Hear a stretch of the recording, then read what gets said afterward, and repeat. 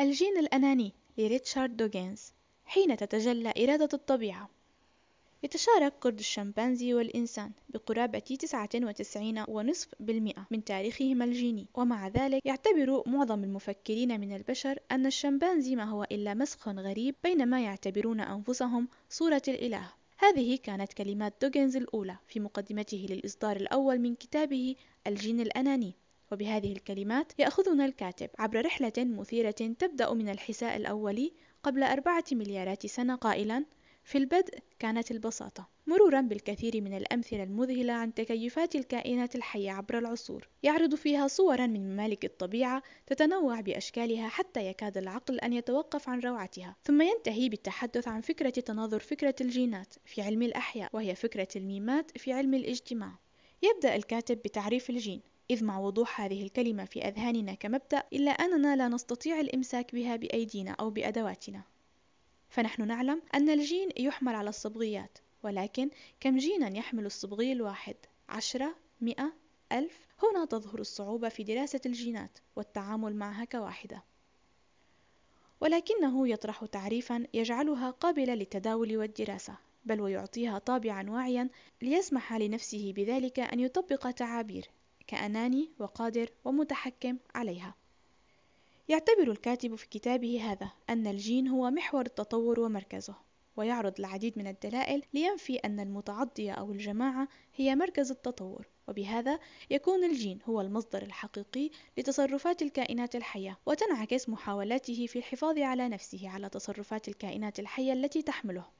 وبهذا يمكن تفسير الإيثار بين المتعضيات ذوي القرابة بأنها محاولة من الجينات للحفاظ على نفسها أو على ما يشابهها بأكبر قدر ممكن ولكن الفكرة ليست بهذه البساطة. فالقرابة بين الأخين التوأم هي حالة تطابق بينما هي بين الابن وأمه حالة نصف الجينات فقط ولكن الإيثار في الحالة الثانية. أوضح منه في الأولى. وهنا يدخل دوغنز في تفسير أعمق يتعلق بمحاولة من الجينات للحصول على أفضل النتائج بإدخال عوامل أخرى غير نسبة الجينات المشتركة بين المتعضيات. ولكن الكاتب لم يقصد أن يقول أن الجين يملك إرادة بالمعنى الذي نعرفه نحن. ولكنه يستخدم الاستعارة لوصفهم وكأنهم يملكون تلك الإرادة. والقصد أن الجينات التي تستمر في النوع هي تلك التي تخدم ذاتها وبذلك يحصل التطور على مستوى الجين لا على مستوى المتعضية أو الجماعة وهما مدرستان يرفضهما دوكنز تماما.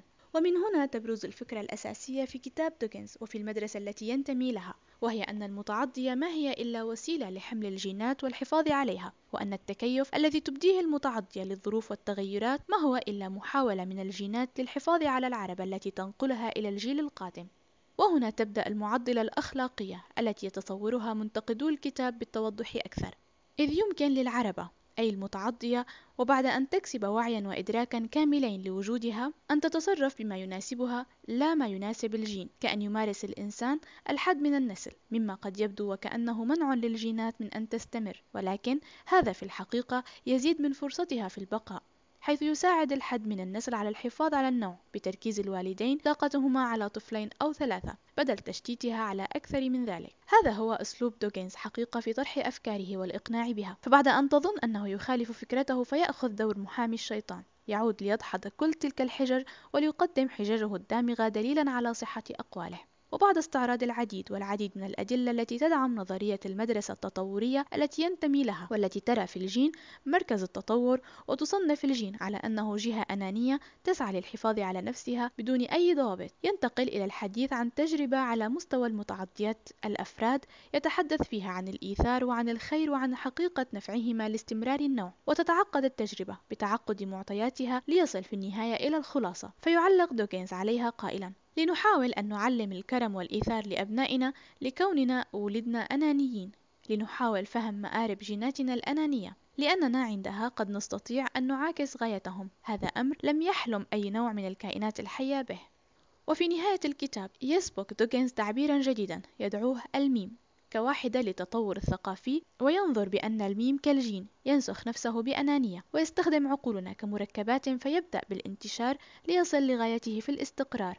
ويختم بأن يقول أن ميم الإيمان الأعمى يؤمن استمراره باستخدام الميزة المبطنة البسيطة والتي هي تثبيت الأسئلة المنطقية. يقول دوغنز في كتابه إنه عندما قام بكتابته كان يفكر في الجميع بالعلماء متوخيا الدقة العلمية وبالدارسين متوخيا المنهجية والمرجعية وبالعموم متوخيا البساطة والوضوح. فلا تقلق عزيزي القارئ إذ مهما تكن أهدافك عن قراءة هذا الكتاب ستستطيع الاستمتاع به بقدر ما ستقبل بنهم على محتواه. كتاب الجين الأناني لمؤلفه ريتشارد دوكنز ترجمة مركز البابتين للترجمة طباعة دار الساقي بيروت لبنان عام 2009